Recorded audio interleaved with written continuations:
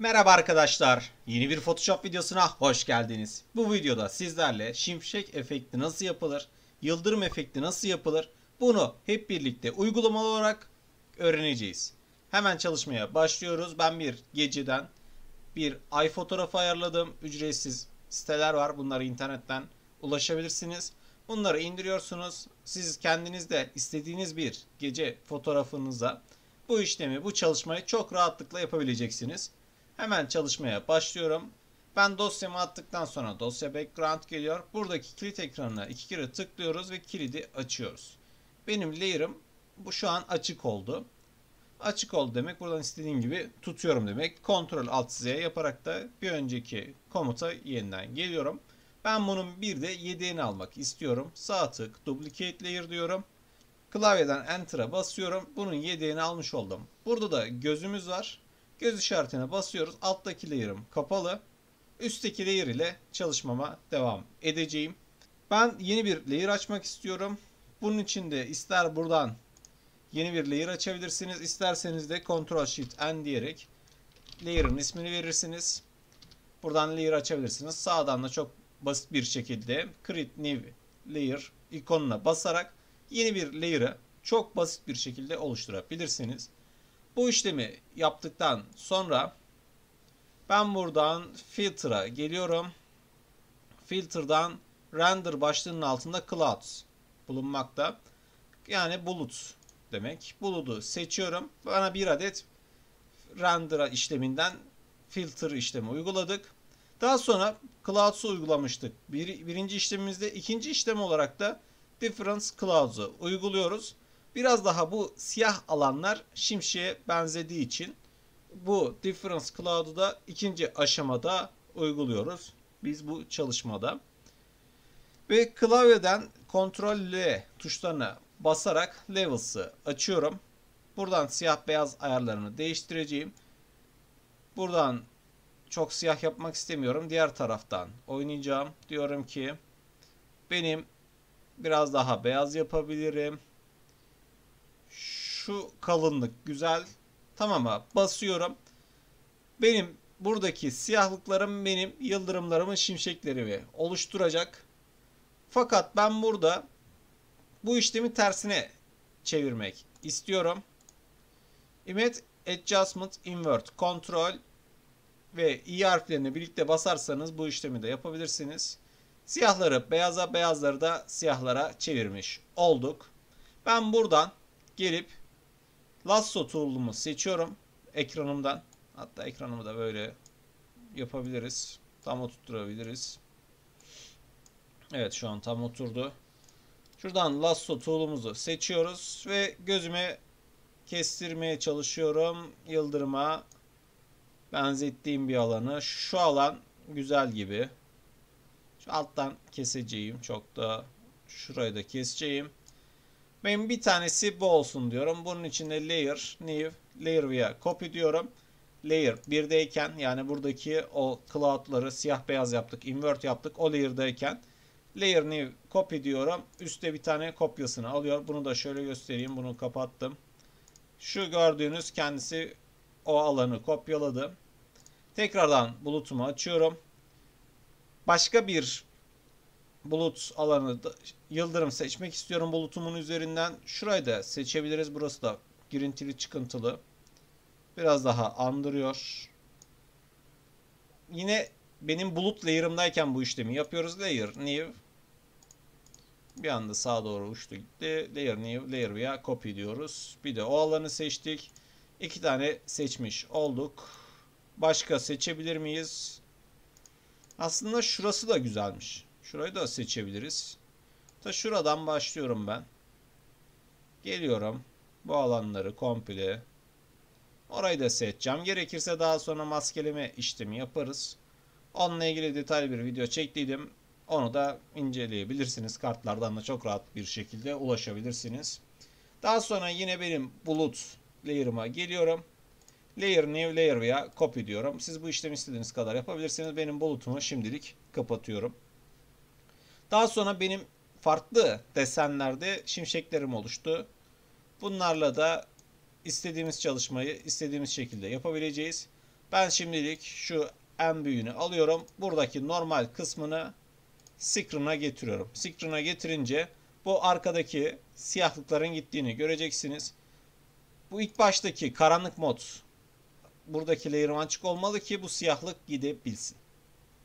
Daha sonra aynı işlemi buradaki diğer benim şimşeklerime de yıldırımlarıma da uyguluyorum. Buradan da screen'ı seçiyorum. Bu işlemi yaptıktan sonra bu biraz beyaz. Ben bunu biraz daha böyle biraz daha gece mavisine filan yaklaşık bir renk olmasını istiyorum. Onu da it image adjustment hue and saturation'dan geliyorum. Hue and saturation panelim açılı. Buradan colorize'ı seçiyorum. Ve diyorum ki buradan aslında tonu da güzelmiş. Şöyle bir ton olarak ayırıyorum. Saturation da burada doygunluk demek. Doygunluğunu da ayarlayabilirsiniz. Ben çok doygun olmasını istemiyorum. Buradaki gibi biraz daha sis efekti gibi olsun da istiyorum. O sebepten dolayı saturation'ı ortada bırakıyorum. Lightness'a ise hiç dokunmuyorum. Tamam'a basıyorum. Aynı işlemi diğer benim şimşeklerime de uyguluyorum. Şu an çalışmıyor çünkü Colorize'ı seçmedik. Bir önceki ayarlar otomatik geldi. Tamam'a bastım. Buradakini yaptı. Sadece bir tek burası kaldı. Onun da Image Adjustment. Hue Saturation Colorize diyorum. Ve bunu da tamam diyerek buna da aynı işlemi gerçekleştirmiş. Bir daha deneyeceğim Image Adjustment Hue Saturation Colorize Tamam diyorum. Şimdi yaptı. Biraz önce bir işlemde sıkıntı oldu. Bu işlemi de gerçekleştirdikten sonra ben buradaki şimşeğimin bir parçasını seçiyorum. Şimdilik bunları böyle sağ tarafa doğru alacağım. Bunları da sonradan birleştireceğim. Böyle mouse'umuzun sağ tuşuyla tıklayıp ilgili layer'ın ismini seçersek o layer'ı seçebiliyoruz. Buradan da istediğimizi seçebiliyoruz. Hangi layer olduğunda buradaki gözleri açıp kapatarak hangi layer olduğunu çok rahat bir şekilde anlarız. Daha önce Transform ile ilgili bir video çekmiştim. YouTube kartlardan çok rahatlıkla ulaşabilirsiniz. O videoları da izlemenizi öneririm. Buradan Ctrl T diyoruz. Buradan istediğimiz gibi otomatik döndürebiliyoruz bizim yıldırımımızı. İstersek şu haliyle de yapabiliriz. Bu biraz daha hoşuma gitti benim.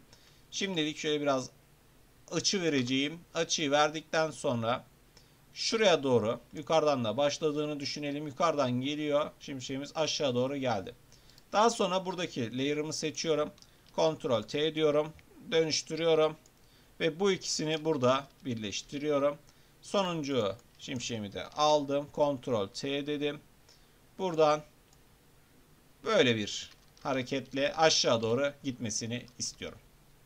Daha sonra bu işlemi yaptıktan sonra bu sefer de sağdaki ile bunun arasında fark olması için Layer 3 seçiliyken sizde farklı bir isim de olabilir. Bu en alttaki şimşeğimiz sizdeki desenler de farklı olacaktır. Herhangi bir deseni alt tuşuna basılıyken mouse'umuzun sol tuşuyla yukarı doğru götürüyorum. Eğer bu işlemi yapamadıysanız ilgili layer'ı seçtikten sonra alttaki layer'ı sağ tık duplicate derseniz bu işlemle de yapabilirsiniz. Delete ile tekrardan siliyorum. Tekrardan geldim. Buradan başla dedim. Orta kısma alt ile bunu kopyaladım. Dedim ki sen buraya gel. Ctrl T'ye tekrardan geliyorum ve flip horizontal diyorum. Sen sağa doğru git. Sağa doğru git. Hem bir farklılık olsun. Bu sefer bizim hangisini seçmedik? Biz şu alttakini yani ortadakini seçmedik. Bunu da aldım. Bunu da Ctrl T flip horizontal dedim. Bunu da buradan vermek istiyorum. Sanki burada bir çatallanma olmuş gibi. Hatta bu üçünü sağ taraftan seçtim. Sol tarafa doğru kaydırmak istiyorum. Fakat layer 3 var burada. Layer 3'ün kopisi. Layer 4'ün demek ki kopilerin hepsi benim sol tarafım. Hatta bunları da alt alt alayım. Daha rahat bir seçim yapabilirim. Kontrol bunları da shift'e basarak da aynı oranda hiç sağa sola gitmeden taşıyabiliyorsunuz. Şu haliyle ben buradan bir dallanma daha verdireceğim. O şekilde dışarı çıksın. En alttakini seçtim. Alt ile kopyaladım. Ctrl T dedim. Enter ile onayladım. Şuradan birleş dedim sen. Daha sonra şu aradan da bir tane olsa güzel olurmuş. Hemen kopyaladım. Hep aynı komutlar. Farklı kombinasyonlarını yapıyoruz. Buradan da bir dallanma olsun. Hatta bunu da seçebiliriz. Aşağı doğru gel.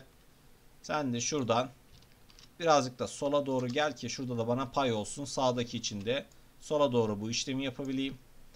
Çok da yaklaşmamıza gerek yok. Yaklaşmayı da alta basılı tuturken mouse'umuzun scroll'unu ileri doğru hareket ettiriyoruz. Daha sonra buradan layer'ımı seçtim. Ctrl T dedim. Buraya geldim. Şuradan bir dallanma hareketi verdik. Şurası çok uzamasını istemiyorum. Bu da şurada bir yerde bitsin. Bu da Ctrl T Flip Horizontal. Tamam. Az bir şey daha. ikisini birleştirelim. Güzel bir görüntü elde ediyoruz. Tekrardan bunu aldım. Buradan bir hareketlenme olsun. Şöyle bir çalışma yapalım. Bunu Ctrl T Flip Horizontal diyelim. Böyle döndürdük Ctrl T ile. Birazcık daha döndürelim. Mesela şuradaki çıkıntı şu an benim hoşuma gitmedi. Tekrardan Lasso Tool'da o alanı seçiyorum. Benim ilgili layer'ımda olduğu için sadece o layer'da silme işlemi yapacağım. Klavyeden delete'e basıyorum. O kısmı çok rahat bir şekilde sildim. Şu aradan da bir gelebilir az bir çalışma. Kopyaladım. Ctrl T yaptım. Döndürdüm. Enter'a bastım. Alta doğru bu hareketi de tamamlamış oldum. Şimdilik başka yapayım mı buraya diye düşünüyorum fakat yapmaya gerek yok. Bir tane de şuradan yaparsak çalışmamızı tamamlamış oluruz. Geldik kopyaladık. Bu da tam ters yönde başlasın. Böyle bir gelsin yukarıdan. Daha sonra bir tane daha kopyala. O da buradan gelsin. Ve en alta da sen gel. En alta da sen oldun. Tekrardan kopyaladık. Ctrl T döndürdük. Enter'a bastık. Alta doğru geldik. Bir de şuradan dallanma yapalım. Şu güzelmiş uzunluğu. Tamamdır. Nereye gitti bilmiyorum. Bir daha seçiyorum. Sağa doğru geldim. Ctrl T. Alta doğru. Evet şuradan da çıkışa doğru verebiliriz. Şunu da kopyalarsak. Evet daha güzel bir görüntü. Şuradan da bir çıkış veriyorum. Ctrl T yapıyorum. Bu arada Ctrl R'ye basıyorum elim. Bu da cetveli aç kapa demek. Buradaki gördüğünüz cetvellerimiz var. Bununla ilgili de detaylı bir video çektiydim. Onu da kartlardan ulaşabilirsiniz. Biz transform aracıyla devam edelim. Ctrl T diyorum. Buradan da dışarı doğru gitsin. Evet. Çalışmamızın sonuna doğru yaklaştığımızda buradan hemen hemen hepsini bu şekilde desenlerimizi oluşturmuş olduk. Baya bir layer'ımız oldu. Bunlara isim de verebilirdik. Ben şimdilik buradaki yıldırımları seçiyorum. Buradan da bir tane grup oluşturuyorum. Bu grubun içine seçtiğim bu layer'ları tutuyorum, sürüklüyorum. Grubun altına geldi. Bir tık daha içeri geldi. Soldan sağa doğru kayma işlemi yaptım.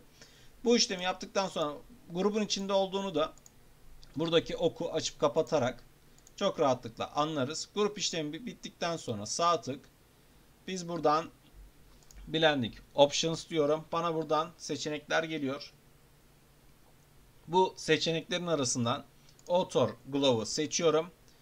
Bana diyor ki e, şuradaki şeyleri gösterdi. O siyahlığın kendisini. Bunu gidermek için opacity ayarıyla oynamak lazım. Opacity ayarını sola doğru getiriyorum. Bana buradan renk seç diyor. Bir renk seçiyorum buradan. Fena değil bu renk. Şöyle bir renk de seçebiliriz. Buradan tamama basalım. Sonra buradaki ayarlarda sizin çalışmanıza göre, sizin deseninize göre, yapmak istediğiniz etkiye göre buradan oynayabilirsiniz. Daha bir güzel çalışma elde ederseniz bu sayede tamama basarak buraya ben bir efekte atmış oldum Author Glow ile. Çalışmamızın sonuna gelmiş olduk. Bu dersimizde Photoshop şimşek efekti nasıl yapılır, yıldırım efekti nasıl yapılır bunun üzerinde detaylı bir video yayınlamış olduk. Eğer imkanınız varsa videoyu durdurarak bu çalışmayı siz de kendi bilgisayarınızda yapmanızı öneririm.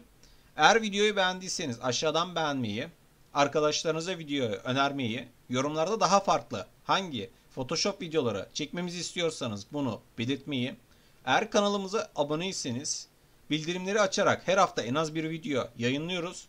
Bu videolardan haberdar olmaya eğer abone değilseniz de abone olmanızı bekliyorum.